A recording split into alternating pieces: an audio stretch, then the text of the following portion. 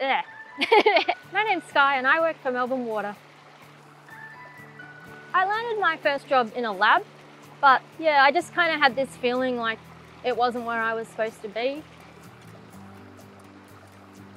My career hasn't been a straight line. I've had about 10 different jobs. Changing career felt scary and exhilarating at the same time. I am a natural resource management crew member. The goal of our job is to protect and enhance biodiversity along Melbourne's rivers, waterways and creeks. Only 1% of Earth's water is drinkable. It's our most precious resource.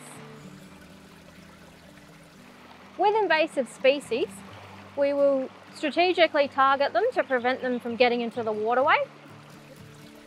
To protect existing vegetation, we brush cut around any invasive weeds and give the plant room to grow.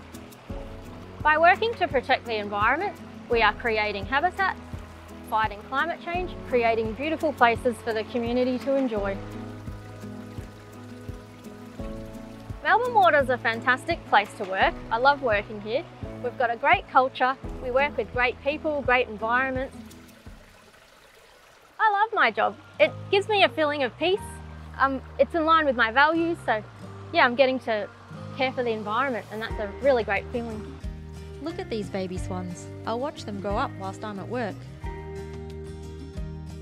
The best thing about my job is getting to see Melbourne's waterways improve. We get to go back to sites that were once previously degraded and then now we get to see them teeming with life. Oh, and kangaroos join us when we work.